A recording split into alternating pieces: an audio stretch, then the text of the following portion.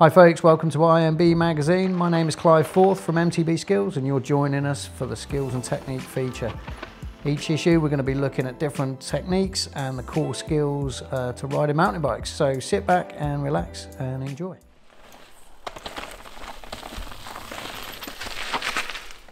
Well, there we go. That's a nice little intro and that's got me warmed up for sure in cooler climes back here in Scotland after my trip to Italy. So welcome folks to another edition of our skills and technique feature. This time around, as much as we're moving into winter, we're not particularly going to focus on winter skills. We're going to look at bringing all them skills together and using them to link features. So it's all about linking pieces in the trail and obviously we're looking at the more technical side of things, more technical terrain and linking stuff bringing all the skills together that we've learned, wheelies, manuals, hops, pressure, obviously using your core techniques, your vision and so on, um, really will help you find a little bit more flow on the trail. So whether it's hard pack like we're on at the minute, bike park, purpose built, technical, non-technical, um, being able to link things really will assist you carry a bit more momentum down the trail and find that all important flow. So enjoy.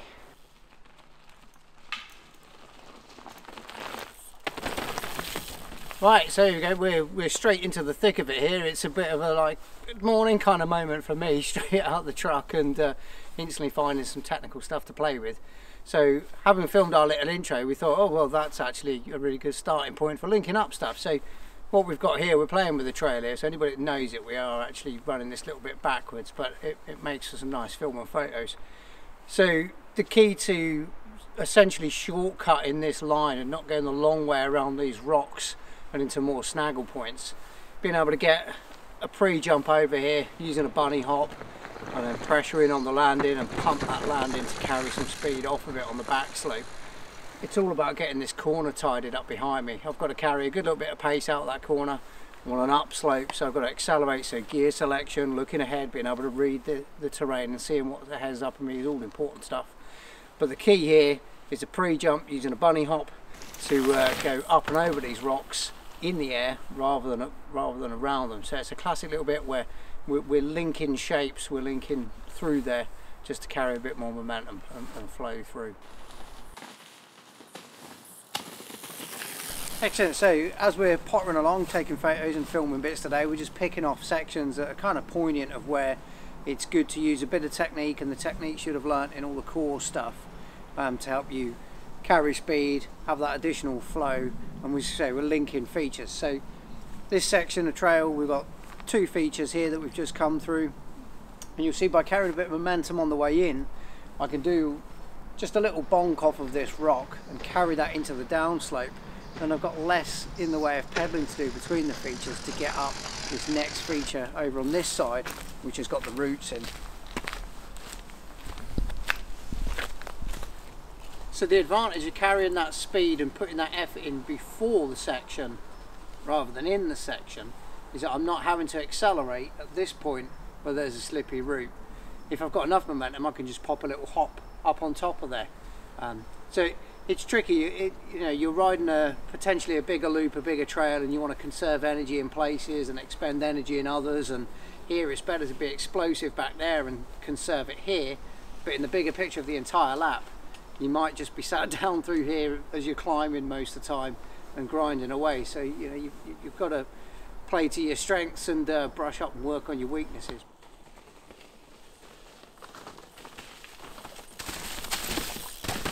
Right so well linking features we've come to the epicenter of features when it comes to trails trail centre territory. At least we're in Dalbeattie and you get lots of these open exposed granite bedrock sections obviously you're not getting that everywhere in the world. I don't know where you're viewing from. You might have more technical stuff, you might have more sedate stuff, but here there's a lot to think about and we're using manuals, hops, pressure in, pressure out. Obviously by default there's a bit of braking going on, we're running downhill and we're obviously looking ahead and sighting our line.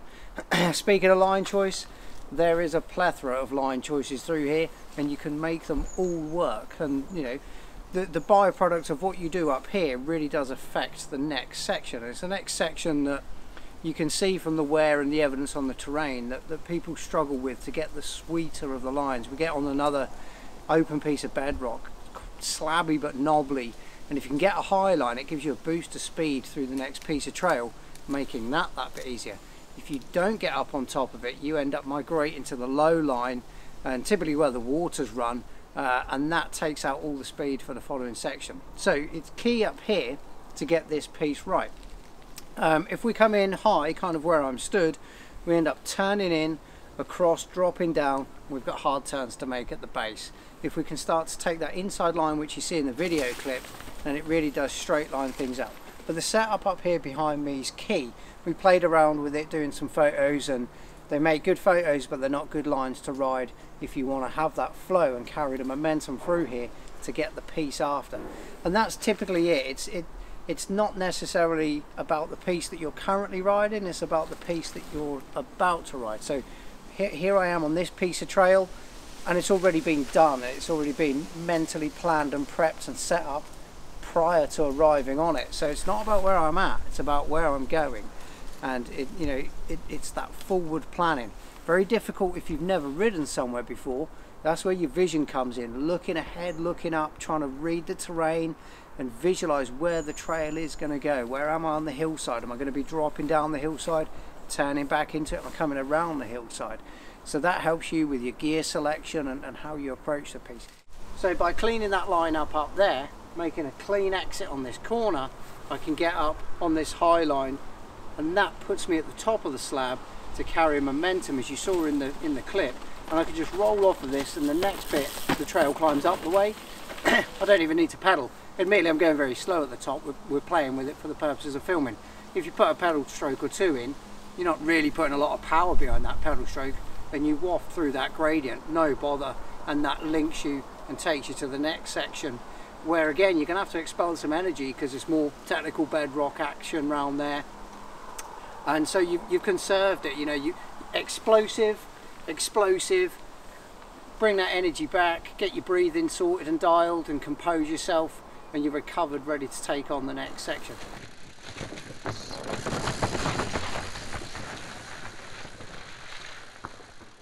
Right all that said and done and demonstrated is brilliant isn't it?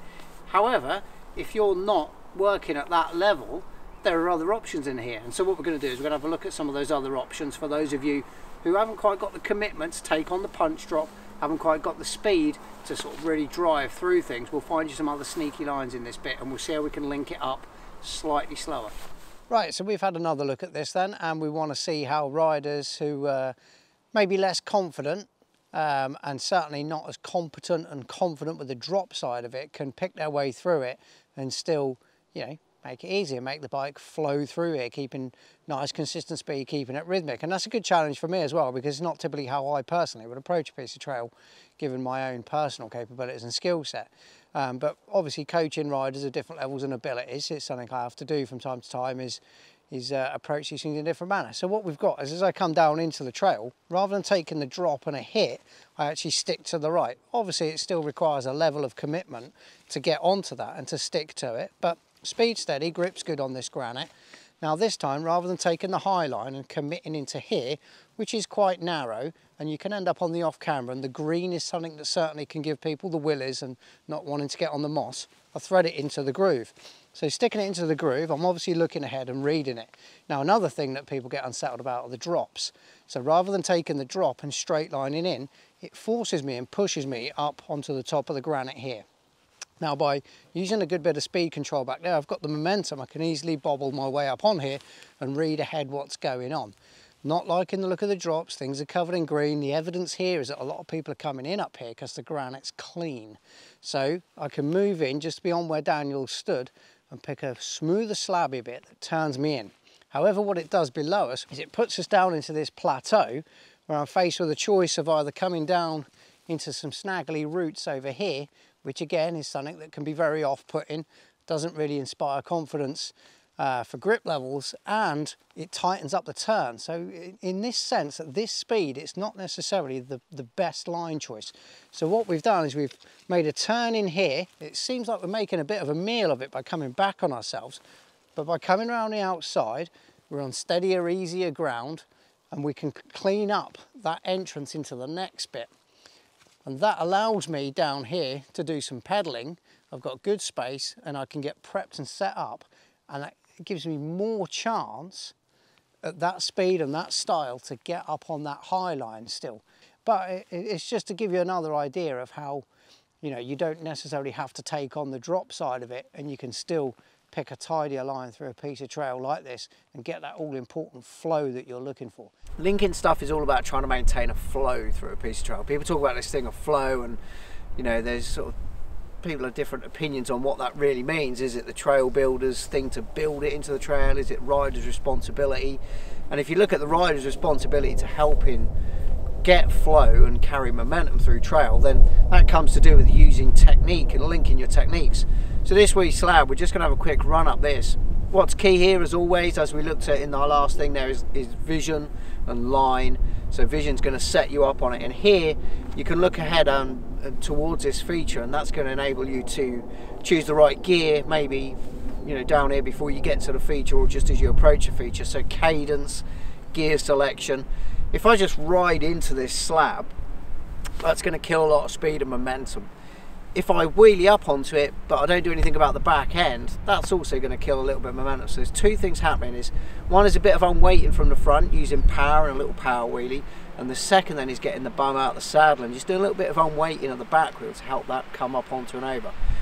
So all the time if you're losing energy you're losing speed or you're literally losing physical energy you know you lose the speed you've got to pedal again after it and it's that pulling away from the traffic lights that burns the fuel in the car. It's the same. As soon as you have to get back up to speed again, you go from zero cadence to some cadence. Uh, that's when we have a big drain on our tank, on our own energy reserve. So all the time, linking the features, linking our techniques in order to save energy, which we can then spend somewhere else or have in the tank should uh, the ride go on longer than anticipated, for example.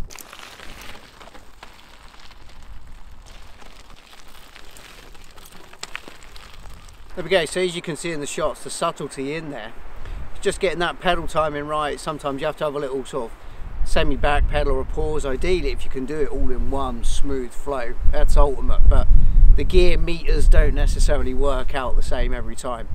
But you pick that front wheel up and lift it up onto this feature, and then just lift your bum up out of the saddle and that helps the back end rise up. And while I'm driving the pedal so I'm actually trying to unweight that back end as well by loading up into the front wheel on the on the downstroke of the pedal just to tickle a bit of weight out of it. Now maybe that it's whatever that is, whether it's a, a big root or a piece of rock, it might be getting a bit green and slippy or an icy day and in which case you don't want to pull too much weight out the back end because you're going to spin the wheel up. Uh, and it really is these little subtleties, linking the features, linking the techniques that can save you a lot of energy.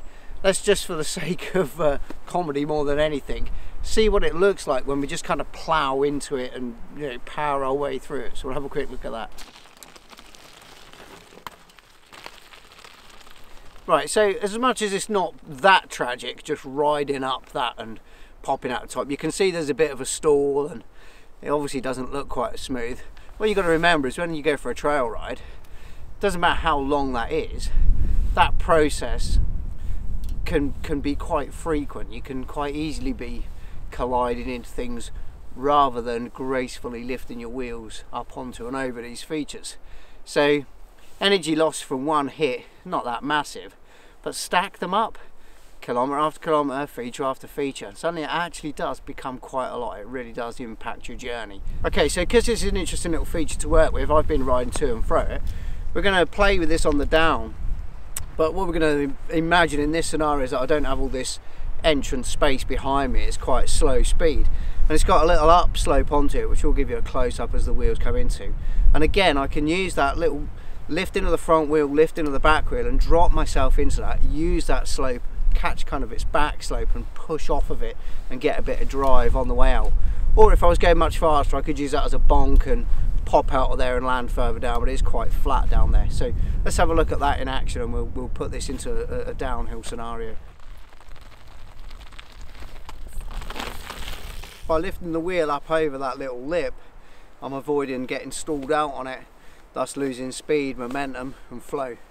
And what I'm using there is a little manual and then a little rear wheel lift just to point the nose down press the rear wheel into that downslope. Rather than again blunting into it hitting it, killing speed and then if I was getting that bit quicker getting pinged up in the air coming down landing on the flat killing speed I'm working with the shapes that I've got and linking my shapes, linking my techniques to match that one feature. We're going to go now and look at something that's a little bit more complicated. There's a lot happening in a very short space of time.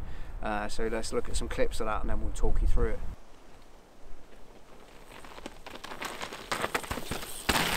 So here we've got a series of what we call rolling press drops. So we're pressing that crag out and then in the bottom section we've got a larger punch drop and that obviously sets us up into the corner as well. So features, crag, drop off and a corner technique being used, linking that technique, press, press, press, punch and then obviously our footwork and everything is dialed and set up for the corner below. Right, so we've moved away from the purpose-built stuff and we've come to more natural terrain. Um, and this is where I see with the coaching stuff that uh, people are getting on well with the waymark graded stuff and they start to move away from that into more natural environments is when they start to struggle a little more. Um, anybody that's been riding for years, we rode a lot of this stuff and, and kind of cut our teeth on it. So we're quite versed at dealing with shapes that exist in nature that obviously haven't been built with the purpose and intention of riding your bike through them. Uh, so we have a little up and over what would have been an old dry stone wall, a very tight ditch, and as you'll see in the clip, following on from that is a tough little climb, and that's that's tricky enough in itself. Um, but matching it into having to clean the climb afterwards brings a whole new uh, sort of uh, thing to the game. So what we've got here, obviously, as we approach this vision is telling everything about what's happening. And this time of year it's quite poignant. It's a little bit harder to pick that line out. You've got all the leaf litter on the floor and the trails become a little vague. So it's really key to, to you know keep that head up look ahead. So linking our techniques gear selection cadence uh, there's lots of unweighting going on through here probably a little manual through the base to stop the front wheel getting hung up in this tight stream crossing uh, and then we're into gear selection cadence to get up the ramp after it. It's the sort of place where you know you, you mess this up by not using good technique, linking your techniques together and linking those shapes, the roll in over the old dry stone wall and the stream crossing, then you really struggle to make the climb. Right, so following on from our stream crossing, we've got this uh, complicated traverse.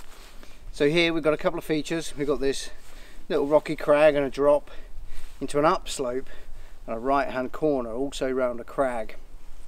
And the trick here to link these two features really is the speed control, the gear selection, obviously looking where we're going, our line choice, etc. is all coming in.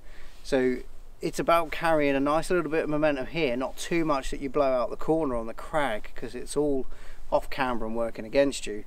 It's carrying just enough momentum that you can find some grip in there, get hooked up and then be able to pedal out. Now, we're going to show you two examples of me riding this. One I've come in with a right foot lead, which I'm predominantly right foot lead, uh, and it makes pedaling in the crag a little more awkward because when you've got to drive the crank round, you actually end up inside pedal down and the crag's cambered this way, so you want to get a collision point with the pedal. It's quite easy to clip your pedal out.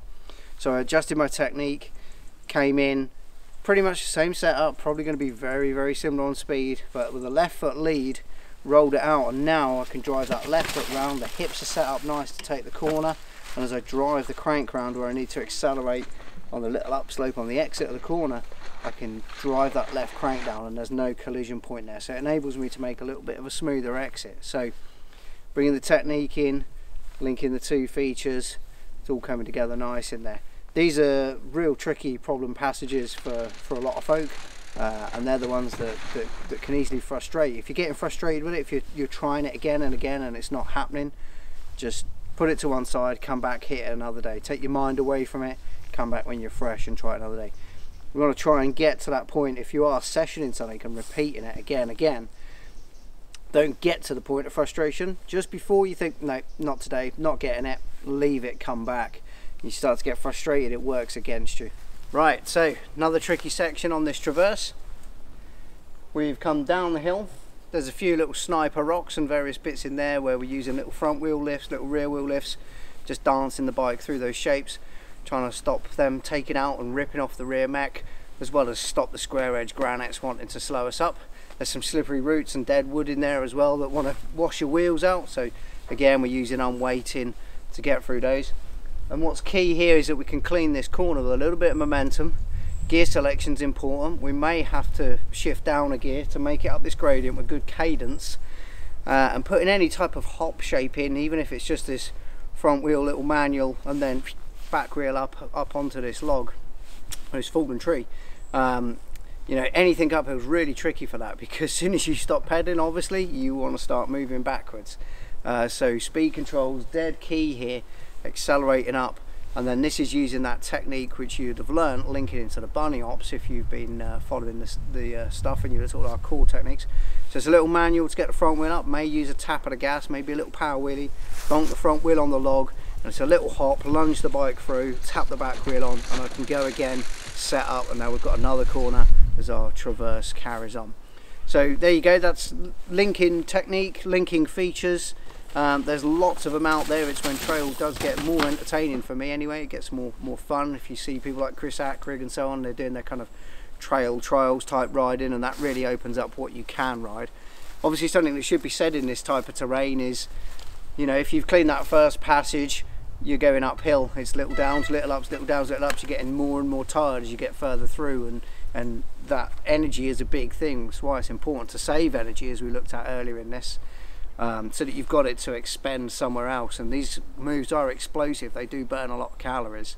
So, working on your cross training, you know, keeping fit through the winter, getting out down the gym or out on the bike. We do a lot of sort of climbing and other things in the winter months just to, to keep active and keep moving. It really does help and it helps you achieve some of these sort of trickier goals that you may have set yourself.